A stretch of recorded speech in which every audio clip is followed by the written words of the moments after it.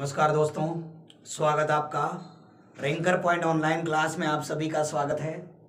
आज हम पढ़ने जा रहे हैं अठारह की क्रांति।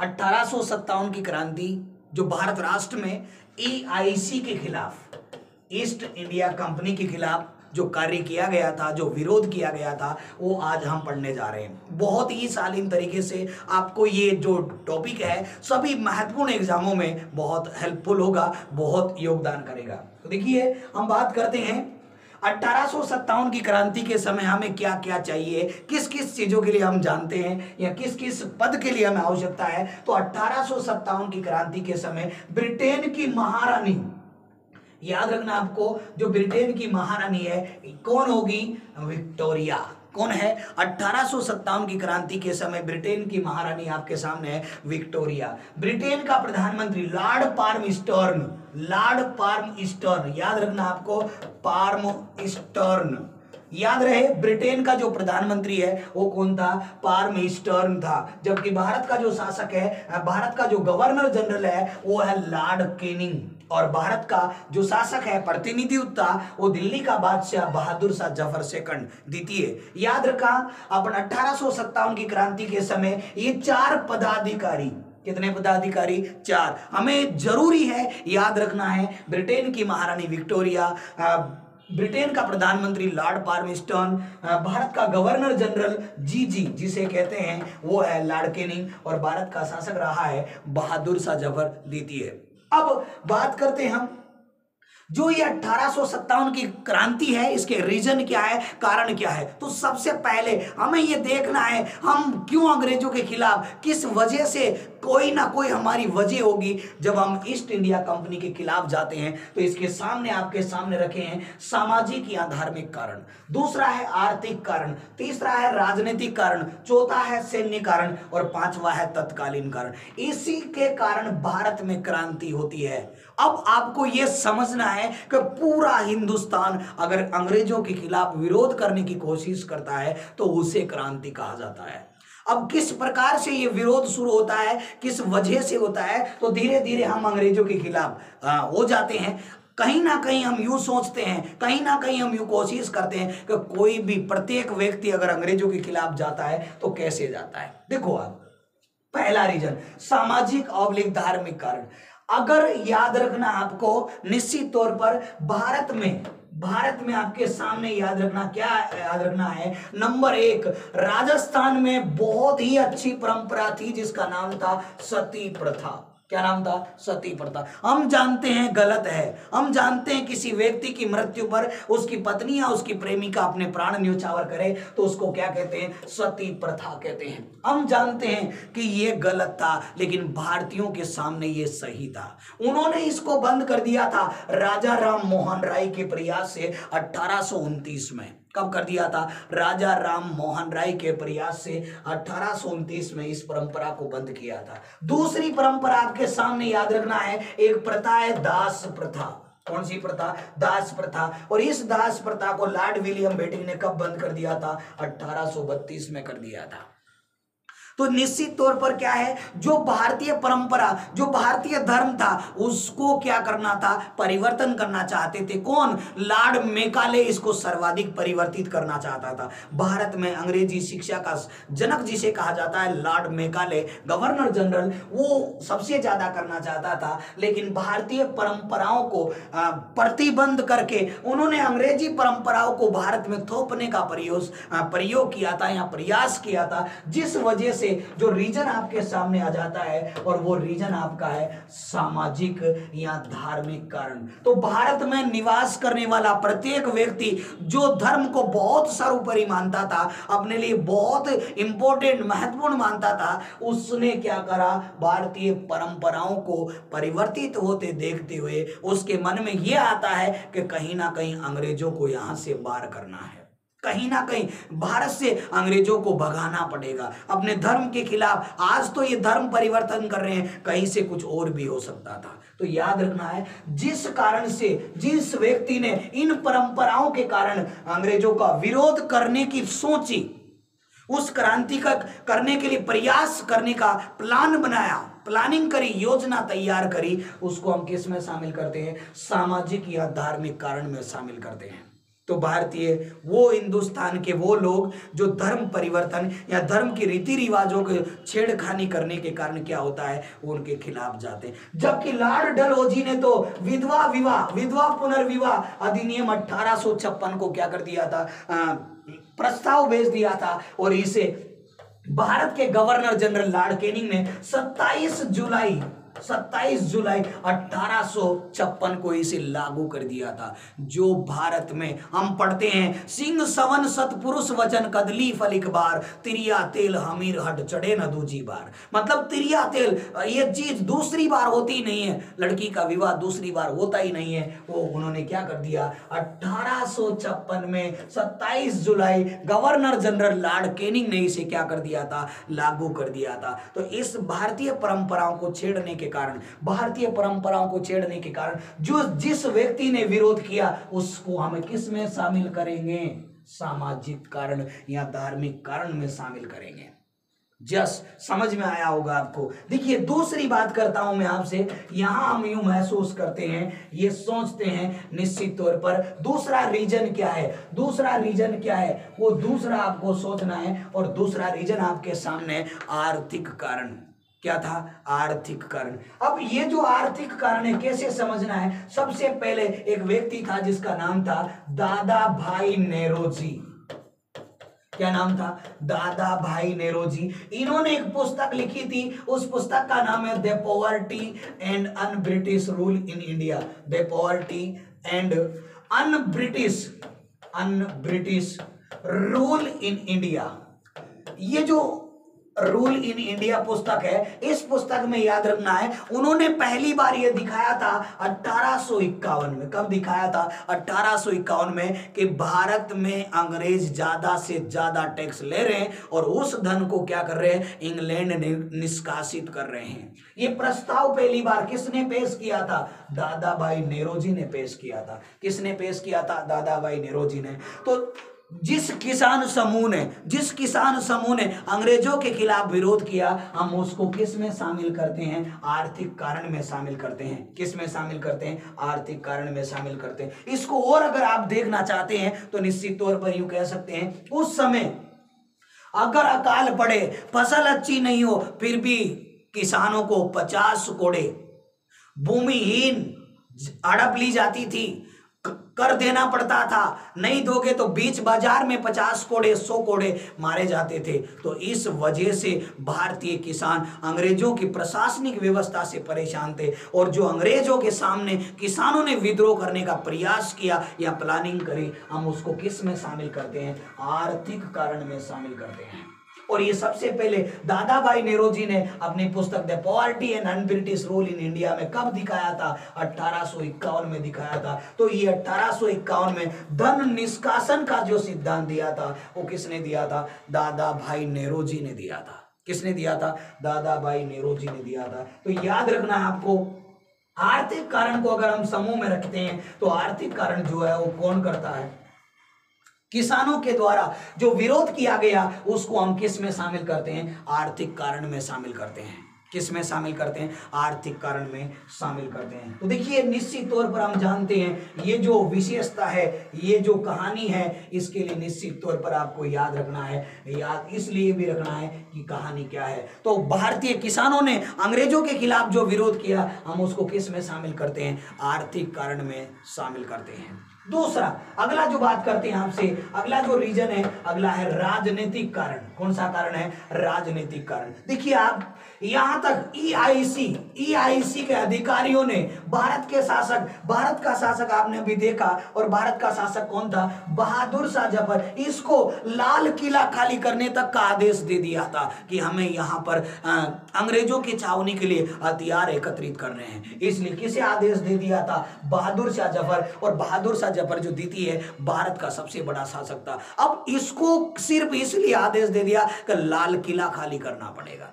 तो ये विरोध करेगा, नहीं करेगा? इसके समर्थन के जो बादशाह होंगे, शासक होंगे, विरोध करेगा या नहीं करेगा? करेगा, बिल्कुल करेगा। अब दूसरी ओर, एक और नीति लार्ड डलहोजी ने एक नीति अपना दी थी अड़प नीति इसको कहते हैं गोद निषेध नीति। कौन सी नीति? गोद निषेध नीति। जिसके उत्तराधिकारी नहीं है, उसका साम्राज्य ईआईसी का साम्राज्य हो जाएगा। किसका हो जाएगा? ईआईसी का साम्राज्य हो जाएगा। अब जैसे आप बताएँ उसके काका, भतीजा, भाई सब तो होंगे, लेकिन उनको नहीं मिलेगा। उसका साम्राज्य किसके पास चला जाएगा? ईआईसी के पास चला जाएगा। तो जिस भी, जैसे H M T Hyderabad, Mysore और तंजोर का जो साम्राज्य छीना गया था, वो इसी हड़प नीति, गोद निषेध नीति के तहत छीना गया था। देखो आप, हैदराबाद मैसूर और तंजोर, इनके साम्राज्य को, इनके साम्राज्य को याद रखना किसके तहत? इसी हड़प नीति के तहत, गोद निषेध नीति के तहत इनको क्या कर लिया था? हड़प लिया गया था। तो निश्चित तौर पर जिस राजा के साम्राज्य को ज़बरदस्ती छीना गया था, जिसने विरोध किया, वो विरोध किसमें शामिल होता है? राजनीतिक कारण में शामिल होता है। तो देखिए, तीन आपके सामने मैंने अभी तक जो धर्म की बात करेगा, जो धर्म के लिए कहेगा, वो सामाजिक में आएगा, जो किसान प्रताड़ित होगा, वो आर्थिक में आएगा, राजा प्रताड़ित होगा, वो राजनीतिक में आएगा। तीन कारण आपके सामने मैंने रख दिए हैं। अगली बात करता हूँ आपसे। देखो आप अगली निश्चित तौर पर आपका ये जो कार्य है, वो याद रखें आप। अगला जो कारण है आपका, वो कौन सा कारण है? उसका नाम है सैन्य कारण। कौन सा कारण है? सैन्य कारण। देखो आप, सैन्य कारण। भारत में पहले का एग्ज़ाम हुआ करता था। भारत में पहले एक एग्ज़ाम हुआ करता था। उस एग्ज़ाम का नाम आपको याद रखना है और उस एग्ज़ाम का नाम है I A S sorry I C S क्या नाम था? भारत में पहले एग्ज़ाम हुआ करता था, उस एग्ज़ाम का नाम था आई C S I C S मतलब आजकल इसे आई ए एस कहते हैं। क्या कहते हैं? आई ए एस कहते हैं। और इसे आई एस कहते हैं तो याद रखना, पहले के जमाने में इसको दो लोग देते थे, एक तो ब्रिटिश और एक इंडियन। एक तो ब्रिटिश और एक इंडियन। अगर कोई ब्रिटिश इसे पास करेगा तो उसे जिलाधीश की नौकरी मिलती थी। कौन सी जिलाधीश की नौकरी और भारतीय से पास करेगा तो उसे हवलदार की नौकरी मिलती है। पेपर एक आईसीएस पेपर एक ही है, उसका नाम है आईसीएस और अगर ब्रिटिश इसे पास कर लेगा तो उसे कलेक्टर की नौकरी दी जाएगी और भारत का पास करेगा तो उसे हवलदार बनाया जाएगा। और फिर भी ये हवलदार बनेगा। अवलदार बनने के बाद भी इसके नीचे जितने भी अंग्रेज़ अधिकारी हैं जितने भी नीचे इसके छोटे, मोटे जो भी अंग्रेज़ अधिकारी उनको क्या करना पड़ेगा? सेल्यूट करना पड़ेगा। तो ये याद रखना, इसका ईगो इसका एटीट्यूड तो क्या है? जिला कलेक्टर बनना, जिलाधीश बनना। लेकिन आपको क्या याद रखना है? वो याद क्या रखना है आपको? इसे क्या बनाया जाता था? हवलदार। और निश्चित तौर पर जो विद्यार्थी मित्रों ने विद्यार्थी मित्र जो है या विद्यार्थी गण जो है पढ़े लिखे लोगों ने अंग्रेज़ों का विरोध किया। हम उसे किसमें शामिल करेंगे? सैन्य कारण में। तो याद रखना है। आपके सामने आ गए चार कारण कि अठारह सौ सत्तावन की क्रांति अंग्रेज़ों के खिलाफ क्यों हुई थी? तो पहला सामाजिक या धार्मिक, दूसरा आर्थिक, तीसरा राजनीतिक और चौथा सैन्य कारण। अब सब मौका ढूंढ रहे थे, कब मौका मिले चौका मारे? कब हम इसके इतिहास के पन्नों में हम अंग्रेज़ों के खिलाफ की गतिविधियों को एक गति दें, गंतव्य को प्राप्त करें? तो वो एक मौका था इनके सामने और वो है तत्कालीन कारण। कौन सा कारण? तत्कालीन कारण। तो देखिए आपके सामने तत्कालीन कारण क्या होता है। इस तत्कालीन कारण की मैं आपसे चर्चा करता हूँ। देखो, तत्कालीन कारण क्या है? तत्कालीन कारण की बात करें आपसे तो क्या होता है? निश्चित तौर पर आप याद रखो, वो कौन सा है? इस आपको याद रखना है। जो आपके सामने मैंने एक बताया था अभी कि भारत का जो गवर्नर जनरल है, भारत का जो गवर्नर जनरल है, वो कौन है?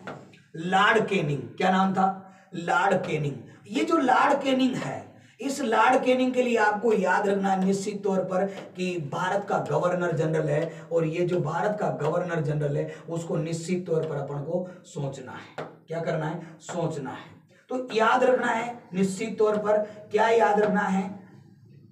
इस विशेष को याद रखना है। और विशेष क्या है आपके सामने? वो विशेष आपको याद रखना है। और कहानी को कैसे याद रखना है? ये बहादुर शाह ज़फ़र के खिलाफ की कहानी, या गवर्नर जनरल लॉर्ड केनिंग की कहानी, कैसे याद रखना है?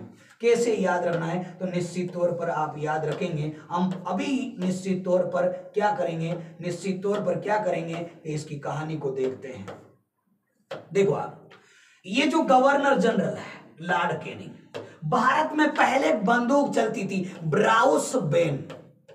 कौन सी बंदूक? ब्राउस बेन। या इसको बेन की जगह बेस भी आ सकता है। इसको क्या कर दिया? समाप्त कर दिया। और समाप्त करने के बाद, समाप्त करने के बाद याद रखना, ब्राउस बेन समाप्त करने के बाद इसने चला दी राइफल एनफील्ड। कौन सी चला दी? राइफल। और इस राइफल में क्या लगता था? कारतूस लगता था। क्या लगता था? कारतूस। और ये जो कारतूस है, वो चर्बी से बनता था। किससे बनता था? और चर्बी जो होती थी, या तो गाय की होती थी, या सुअर की होती थी।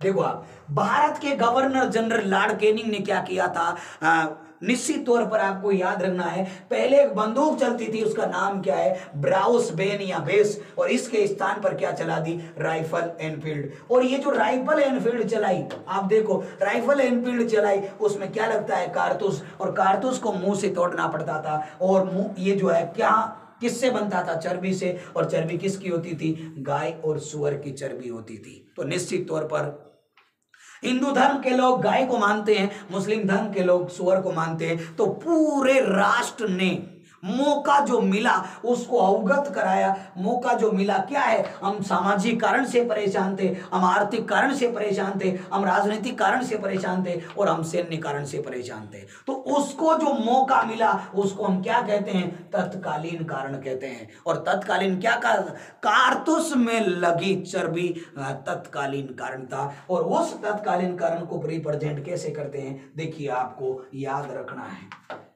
क्या याद रखना देखो, निश्चित तौर पर आप जानते हैं, एक बंगाल में एक छावनी पड़ती है जिसका नाम है बैरकपुर।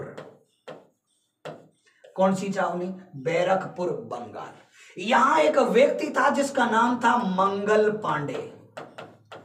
क्या नाम था? मंगल पांडे। इस मंगल पांडे ने क्या याद रखना आपको? इसको पहली बार बेरकपुर छावनी बंगाल में पता चला कि जो हम कारतूस उपयोग कर रहे हैं, कारतूस उपयोग कर रहे हैं, वो गाय और सुअर की चर्बी से बनता है। देखो क्या होता है। आपको निश्चित तौर पर कहानी आपको सुना देता हूँ। मंगल पांडे। पांडे मतलब ब्राह्मण। ब्राह्मण की गतिविधि उस समय का, इसका कार्य क्या था? सबसे पहले ये उठता, स्नान करता, मंदिर में पूजा करता, फिर खाना खाता और फिर अपने सैनिक कार्य के लिए निर्वहन करता। सैनिक कार्य की गतिविधियों को आगे बढ़ाता। तो पहले इसके लिए धर्म था, उसके बाद अपना दूसरा कार्य था। तो इसलिए क्या करता था? सबसे पहले मंदिर जाता था। मंदिर जाता था तो क्या हुआ कि कहानी कैसे आती है? एक व्यक्ति इसको आकर बताते हैं। तो क्या होता है? जैसे वो व्यक्ति इसको आकर बताते हैं तो पहले तो इसने उस व्यक्ति को मारा कि ऐसा क्यों बोल रहा है? ऐसा हो ही नहीं सकता। तो इन्होंने क्या करा? इसका एक मित्र था।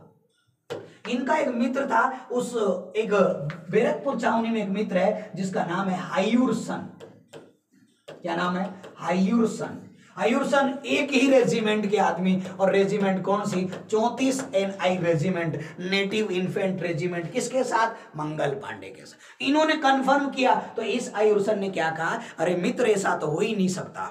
ऐसा हो ही नहीं सकता। ये तो बारूद से बनी हुई एक बा, एक क्या है, कारतूस है, जो बारूद से बनता है।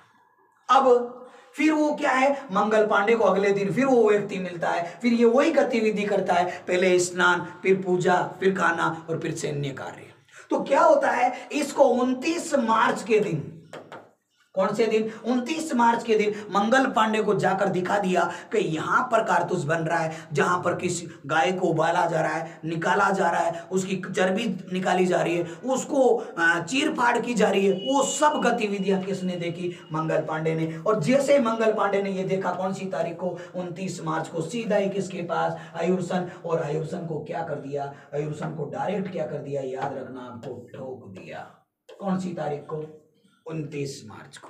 और इसको हाइरुसन को बचाने वाला एक अधिकारी बाघ आया था। और वो अधिकारी जो बाघ आया, उसको भी क्या कर दिया? हत्या कर दी। तो राजस्थान की बात करूँ, भारत की बात करूँ तो कहानी क्या है? भारत में क्रांति, या क्रांति की शुरुआत की जो कहानी है, वो बैरकपुर में पहली घटना हुई, और घटना कब हुई? 29 मार्च को। कारतूस का विरोध करते हुए मंगल पांडे ने कितने व्यक्ति? दो व्यक्ति। कितने व्यक्ति? दो व्यक्ति की क्या कर दी? हत्या कर दी। एक तो मित्र था, एक अधिकारी था, आयुर्सन और बाघ। आयुर्सन और बाघ, कौन सी जगह पर? बैरकपुर। रेजिमेंट कौन सी? चौतीस एन आई रेजिमेंट फिर याद रखना है, यहाँ बैरकपुर में हिंदुस्तान के तो कम सैनिक थे, अंग्रेज़ी ज़्यादा थे तो बेचारों ने ज़्यादा विरोध नहीं किया और ये अठारह की एकमात्र घटना बनकर रह गया। क्या बनकर रह गया? घटना बनकर रह गया। क्रांति की क्या बनकर रह गई? घटना बनकर रह गई। क्योंकि इस विरोध को, इस विद्रोह को दो लड़े, तीन लड़े और दो मरे, उनसे क्या फ़र्क पड़ता है? उसे क्रांति हम नहीं कह सकते। क्रांति की शुरुआत हम नहीं बता सकते। तो निश्चित तौर पर आपको क्या याद रखना है? मंगल पांडे को पकड़ा गया क्योंकि भारतीय सैनिक कम थे और इसे 8 अप्रैल अठारह को क्या दे दी? फांसी दे दी। और जैसे ही फांसी दी जाती है तो भारत में क्रांति का पहला शहीद कौन है? मंगल पांडे। कहाँ का है? बेरकपुर है। कौन सी रेजिमेंट है? चौतीस रेजिमेंट। इसने कितने, कब मारे थे? उनतीस मार्च को कितने? दो व्यक्ति, एक तो मित्र, सात रेजिमेंट था। सात में रेजिमेंट वाला सैनिक था और दूसरा एक अधिकारी है। जिसका नाम बाघ है। तो निश्चित तौर पर याद रखना, भारत में पहला मंग क्रांति का जो शहीद है, वो 8 अप्रैल को कौन था? मंगल पांडे। कहाँ पर? बेरकपुर। ये क्रांति की मात्र क्या है? क्रांति की मात्र क्या है? घटना घटना, ना की क्रांति। शुरुआत नहीं हुई अभी, क्योंकि तीन आदमी लड़े, दो मरे, फिर एक उसके बदले में उसको भी मारा गया। ये कोई क्रांति की घटना नहीं है। ये क्रांति नहीं हो सकती, क्योंकि तीन आदमी मरे हैं, इसे हम विद्रोह नहीं कह सकते, हम बड़ी चीज़ नहीं बता सकते। अठारह की क्रांति की सिर्फ़ ये क्या है? पहली घटना है, जो कब हुई थी? उनतीस मार्च को। तो अपने सामने अठारह की दो तारीख अपने को मिल गई। एक तो उनतीस मार्च और दूसरी आठ अप्रैल। तो पहली जो संबंध है, वो मंगल पांडे ने कितने व्यक्ति मारे? दो व्यक्ति मारे और उसके बदले 8 अप्रैल को मंगल पांडे को क्या हुई? फांसी हुई और फांसी हुई तो आपको ये याद रखना है, ये ध्यान रखना है कि निश्चित तौर पर राजस्थान की बात करूँ, भारत की बात करूँ तो पूरे भारत में क्रांति का पहला जो शहीद है, वो कौन है? मंगल पांडे है, मंगल पांडे है और इसे कब कब मिली? तो याद रखना आपको 8 अप्रैल को अंग्रेज़ों ने इसे क्या दे दी? फांसी दे दी। क्या दे दी? फांसी दे दी। और कब दी? 8 अप्रैल को। तो भारत में क्रांति का पहला शहीद, कारतूस का विरोध करते हुए बैरकपुर छावनी में अपने प्राण न्योछावर करता है, अपनी वीर गति को प्राप्त होता है। थैंक यू यह सिर्फ़ आपके सामने घटना है। आगे की बात अगली क्लास में करते हैं। धन्यवाद।